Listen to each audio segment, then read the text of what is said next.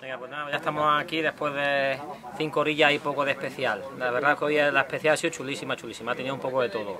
Entre arena, piedras, eh, partes muy rápidas, partes más lentas, partes sin poca navegación, otra parte con bastante navegación complicada, encontrar los waypoints los CP y muy, muy, muy divertida, sobre todo muy divertida. Está, muy bien la etapa.